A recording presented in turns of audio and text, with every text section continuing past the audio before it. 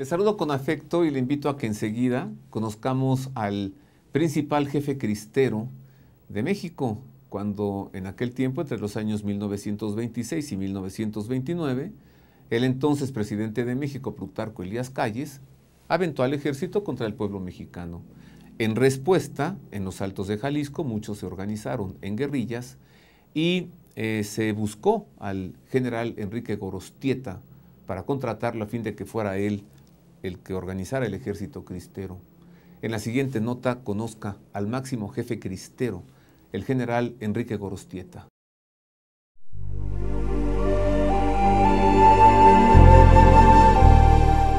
El general Enrique Gorostieta y Velarde nació en Monterrey en 1890. Estudió la carrera de las armas en el heroico Colegio Militar de Chapultepec. Se unió al ejército en 1911 durante la Revolución Mexicana. Participó en la defensa de Veracruz y peleó contra Venustiano Carranza.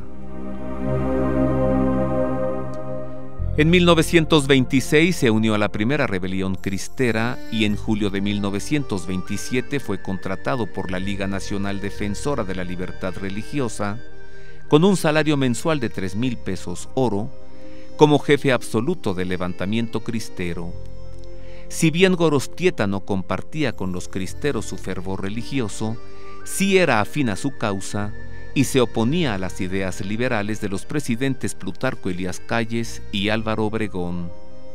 Su estrategia militar consistió en organizar las dispersas guerrillas hasta conformar todo un ejército cristero, con el que combatió principalmente en Jalisco, Michoacán, Colima y Zacatecas, bajo el Plan Cristero de los Altos, promulgado por él mismo el 28 de octubre de 1928. El general Enrique Gorostieta y Velarde murió 19 días antes de la firma de los tratados de paz, a los que él se opuso mediante un documento que hizo llegar a los obispos de México a través de la Liga Nacional Defensora de la Libertad Religiosa.